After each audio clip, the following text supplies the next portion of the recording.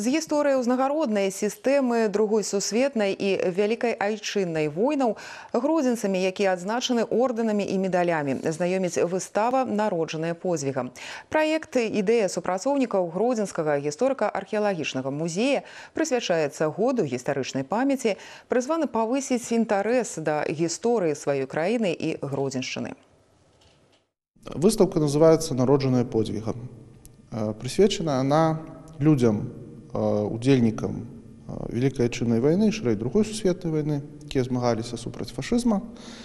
Але ў цэнтры этой выставкі мы вырашылі зрабіць узнагароды.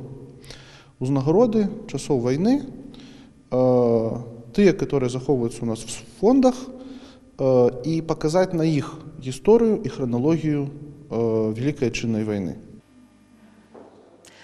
Ад салдацкіх медаль за адвагу ордэн чырвонай зоркі да ўзнагародаў палкаводцаў ордэн богдана хмяльніцкага залатая зорка герой савецкага саюза. Выстава сабрала некалькі дзесяткаў экспанатаў у тым ліку тыя што належалі знакамітым гродзенцам ветэранам вялікай айчыннай вайны героем савецкага саюза адаму ляшчынскаму і івану лебедзеву.